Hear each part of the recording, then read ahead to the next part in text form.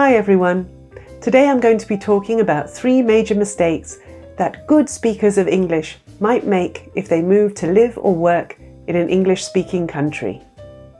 Maybe you're thinking of moving abroad to work, or you're planning to move with your family to an English speaking country. In any case, this video is for you. My name is Beck and I'm an English teacher at Britcent. Let's get started.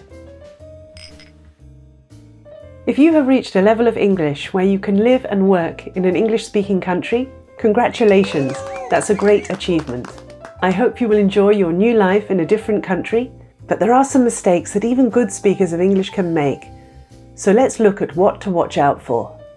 Number one, believing that you don't need to study anymore.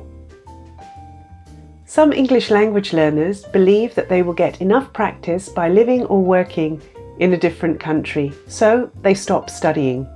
This might be a big mistake.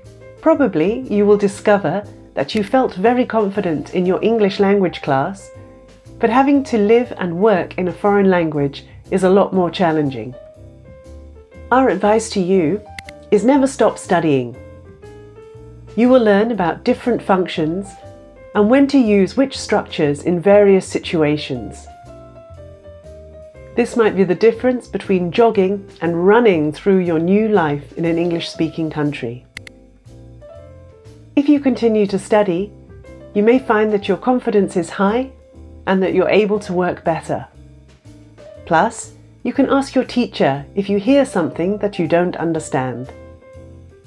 Number two, using too many idioms and too much slang. Some English language learners think that the way to sound more native is to use as many idioms as possible. This is very unnatural in English and may sound like a cliche. Likewise, be careful with slang terms. It might be better to understand them rather than use them without thinking.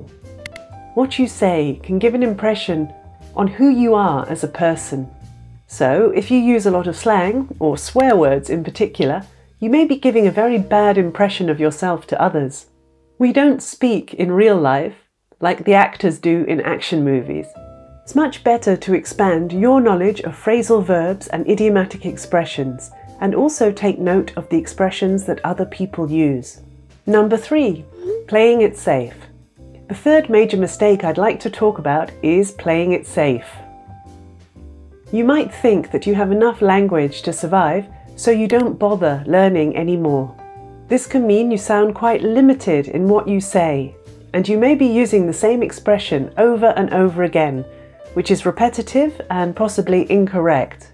In the worst case scenario, you may spend all your time with people who speak your language from your country. In that case, your English will be flatlining and you might as well be at home in your home country. Language is a tool for communication to a certain extent, you need to experiment with new language in order to express yourself better and have experiences in a different country. So be brave and try out some new expressions every week. Alright, so now you know three major mistakes to avoid when moving to an English speaking country to live or work. Let us know if you've experienced any of the things I've been talking about or if you know of any others. Bye for now.